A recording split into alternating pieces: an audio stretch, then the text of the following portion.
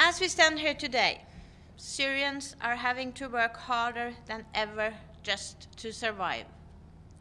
Humanitarian suffering as a result of protracted conflict has been exacerbated by food insecurity, the COVID 19 pandemic, a dire economic situation, a water crisis, and cholera.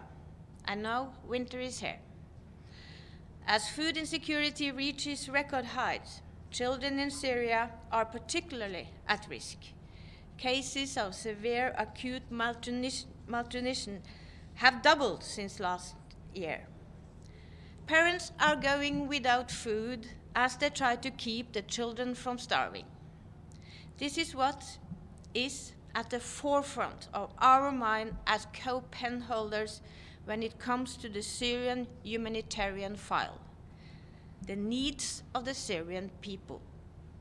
For the past two years, Ireland and Norway have lis listened carefully to each and every of the month at the monthly briefings in the Council. For each of those briefings, we have heard that the humanitarian situation in Syria has continued to deteriorate. So before today's meet, meeting, which will be our last on the Council, we want to be clear. All modalities of aid delivery are absolutely necessary to save lives across Syria. All channels should be made and kept open. Cross-border and cross-line access must continue, and we encourage continued early recovery efforts. Thank you, Mona. Thank you, Ambassador Juul. Uh, as Mona has said, over the last two years, we have also seen the Council come together to renew the UN's cross-border operation on two separate occasions. And we want to thank all Council members for their cooperation in securing that life-saving decision. It is an acknowledgement of the critical need for this operation.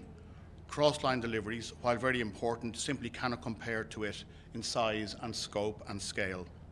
And that is why Ireland and Norway are working with all Council members to secure a confirmation of the additional six months authorisation foreseen in Resolution 2642. An estimated 15.3 million people, 15.3 million people in the coming year in Syria will require humanitarian assistance. This is the highest number in need since the beginning of the conflict. We cannot allow ourselves to become numb to these staggering figures. Millions of vulnerable people, including the elderly, women and children, need this Council to act. We must continue to use all modalities to deliver the, ne the necessary aid, the aid that is so desperately needed. Ireland and Norway echo the Secretary General, who has said that the continuation of the cross-border mechanism by the Security Council is a moral and humanitarian imperative. This Council has the ability to ensure the continuation of this mechanism, and it has a duty to do so. Thank you.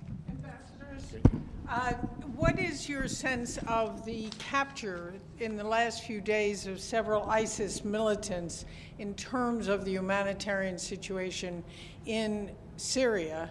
And on a totally different front, would you comment on President Zelensky coming to the United States? Thank you. It's Pamela Falk from CBS. I'm giving Mona the easy question.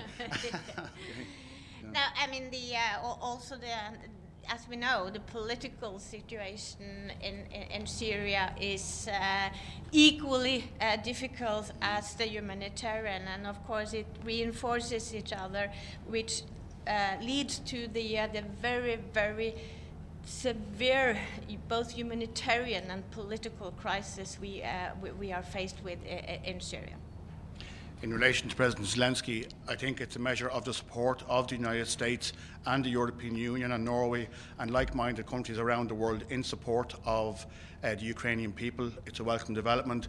President Zelensky has been communicating to us directly into the Security Council, into the, uh, the European Council. So this is just, I suppose, an extended development in person, but it's very, very welcome and it's a measure of the support that we all share for the Ukrainian people.